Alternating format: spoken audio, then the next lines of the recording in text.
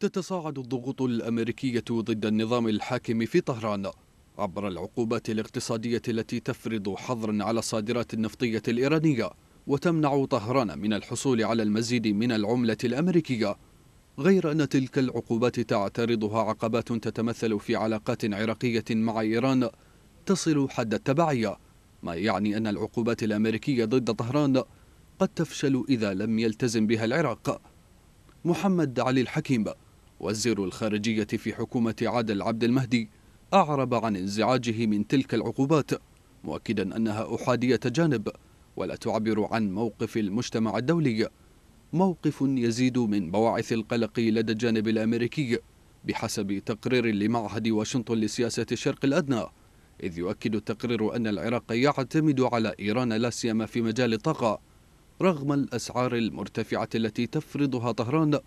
مقابل إمداد العراق بحاجاته من الطاقة فالعراق بحسب تقرير معهد واشنطن. يشتري الغاز الإيراني بأكثر من 11 دولارا أمريكيا لكل ألف قدم مكعب مقارنة بنحو خمسة دولارات ونصف الدولار تدفعها ألمانيا لشراء الغاز من روسيا. وفي نفس السياق يستورد العراق من إيران نحو 1700 ميجاوات من الكهرباء سنويا. بتكلفة تصل إلى مليار ومئتي مليون دولار.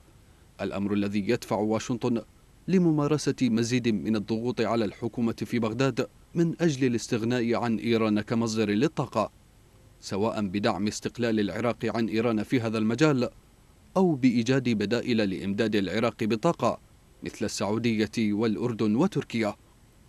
وبقدر ما كشف التقرير عن تبعية الطبقة السياسية في العراق بقدر ما أكد أن مزيدا من الضغوط ربما ستجبر هذه الطبقة على التخلي ولو جزئيا عن هذه التبعية. الأمر الذي قد يرسم خريطة جديدة للعلاقات التجارية والسياسية بين العراق وجيرانه في المنطقة.